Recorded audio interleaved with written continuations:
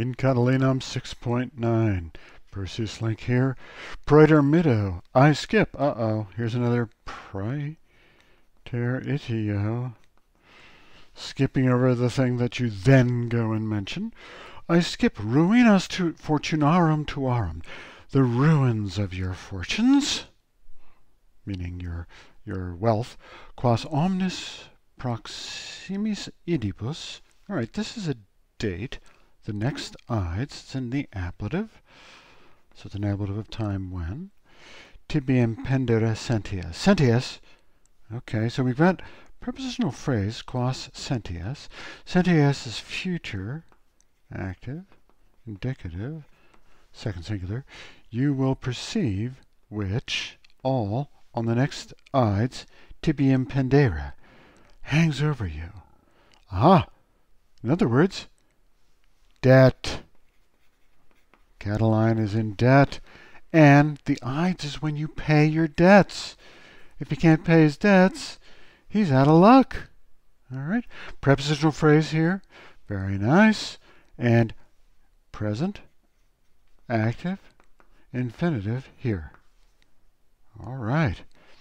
Ad illa veniam, I come to those things, quae, which, aha, relative uh, clause here. Let's see how far this goes. All right, we're looking for a word non ad primatum blah blah blah blah non ad domesticum tuum blah blah blah blah sed ad summam blah blah blah blah blah blah atque ad vitam blah blah blah blah pertinent.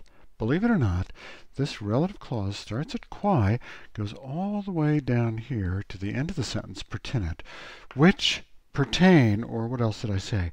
Affect or be relevant to. And what are they rele relevant to? Boof. Odd. One. Odd. Two.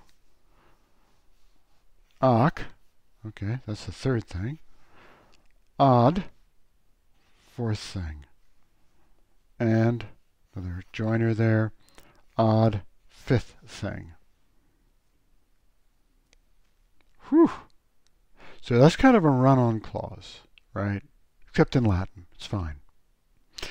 Ad illa veniam. I come to those things, which non ad privatum ignominiam, not towards your private um, disgracefulness, vitiorum tuorum, of your vices or evils, non ad domesticam tuum difficultatem, not to your domestic problems, difficulties, ac turpitudinem, my favorite word, and shamefulness, disgustingness, sed ad, but to, summam rem publicam, the highest affairs of state, atque, and ad omnium nostrum vitam salutemque, to the life and the safety of all of us pertain. Whew! Okay, so this is a case where he's stepping up.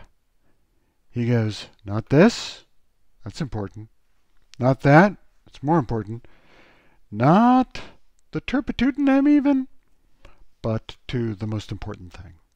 This is the way Cicero sort of escalates his rhetoric.